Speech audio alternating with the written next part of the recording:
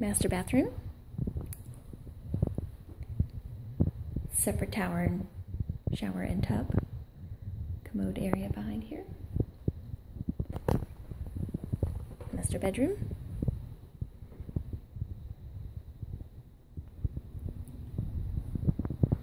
Great view of the lake from your bedroom. From the dining room into the kitchen. Nice breakfast nook there.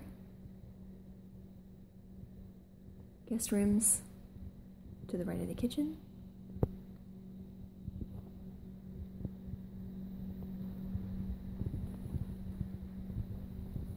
Breakfast room, living room.